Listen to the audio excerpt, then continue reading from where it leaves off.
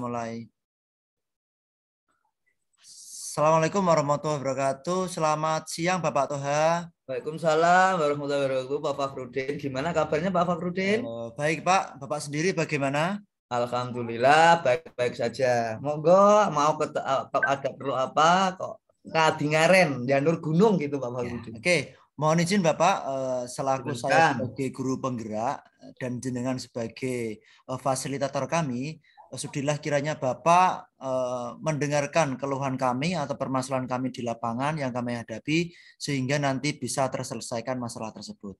Silakan Pak Fakhrudin. Oke Bapak, eh, untuk yang pertama eh, kami guru penggerak menghadapi berbagai permasalahan Pak, di antaranya eh, susahnya guru di sekolahan kami untuk kita arahkan ke proses atau tujuan kita sebagaimana contohnya kita mau membuat media pembelajaran eh, berbasis audiovisual, Pak. Tapi ketika saya mau mengadakan IHT, banyak guru yang tidak eh, sepaham atau sependapat dengan kita. Mohon solusinya, Bapak. Oh, terima kasih Pak Fakhrudin. Yang pertama saya sekali lagi saya ucapkan terima kasih atas eh, apa namanya kesediaan Pak Fakhrudin atau meluangkan waktu Pak Fakhrudin kepada saya. Baik, melihat cerita dan permasalahan yang Pak Fakhrudin ungkapkan tadi eh, mungkin eh, juga saya kepingin mengerti apakah Pak Fakhrudin sudah berkomunikasi sudah menyampaikan eh, kepada Bapak Ibu guru yang lain tentang IHT yang Pak Fakhrudin eh, apa namanya Pak Fakhrudin kerjakan tadi. Baik Bapak, Eh, sebelumnya kalau untuk bertemu dengan semua guru, oh saya belum Pak. Cuman kemarin saya sudah matur sama Ibu Kepala Sekolahnya untuk difasilitasi agar program saya di sekolah ini tercapai. Itu yang menjadi tujuan kami Bapak. Oke, terima kasih. Nah, berarti ini ke depan ya, artinya setelah programnya Pak Fakhrudin memang benar-benar eh, matang dalam tanda kutip mau dikerja, mau dilaksanakan di di sekolah Pak Fakhrudin kepada teman-teman guru yang lain.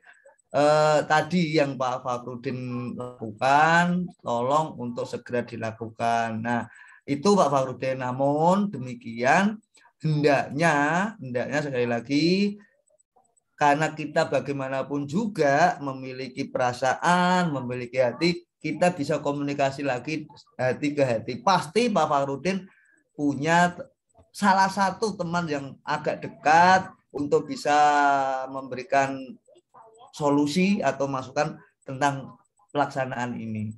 Nah, berikutnya Pak Fakhrudin yang paling menonjol, yang paling menonjol dari IHT yang Pak Fakhrudin lakukan itu nanti apa? Topiknya apa gitu Pak Fakhrudin? Baik Bapak, terima kasih. Jadi nantinya eh, semua guru saya ajak untuk membuat video pembelajaran.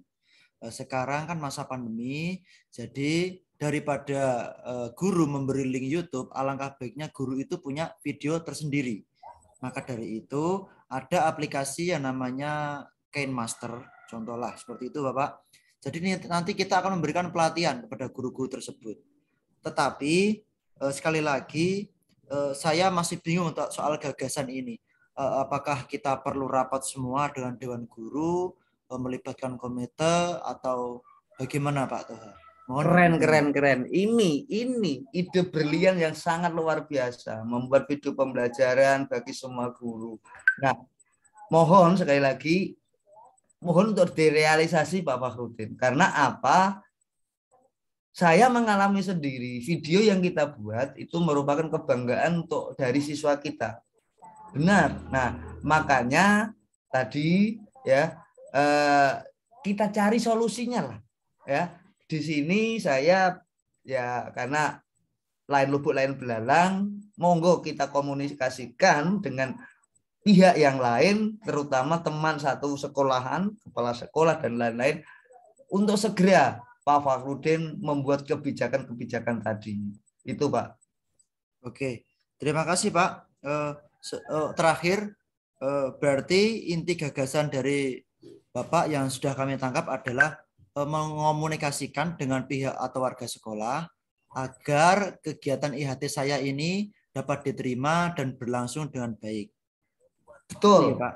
Ya, betul sekali Pak Farudin. Jadi Bapak Farudin dalam hal apa pun berkaitan dengan proses pembelajaran ya usahakan untuk berkomunikasi dan harus memiliki rasa tanggung jawab yang yang melekat pada masing-masing individu. Oke, terakhir Bapak mohon saran untuk kita teman-teman guru penggerak ke depannya Bapak.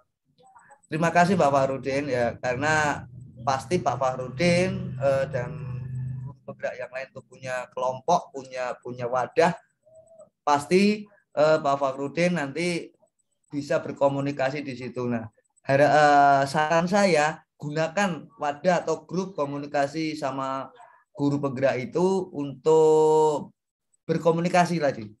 Mem menampilkan masalahnya masing-masing di tempat kerjanya. Sehingga nanti Pak Fahrudin bisa mengetahui dari si A, nanti permasalahannya ini, si B ini. Sehingga itu nanti bervariatif dan kita bisa mengadopsi.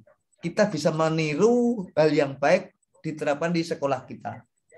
Demikian pula teman yang lain bisa meniru dari uh, punya teman-teman yang ada di grup itu. Itu Pak Farudin saran saya untuk grup guru penggerak yang dimiliki Pak Farudin. Oke, terima kasih Bapak, sangat menginspirasi dan bisa memuaskan apa menjadi unek-unek kami.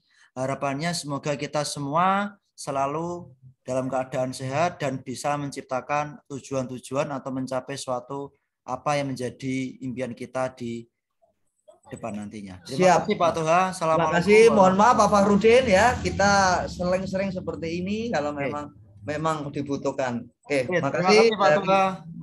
Assalamualaikum warahmatullahi wabarakatuh. Waalaikumsalam warahmatullahi wabarakatuh.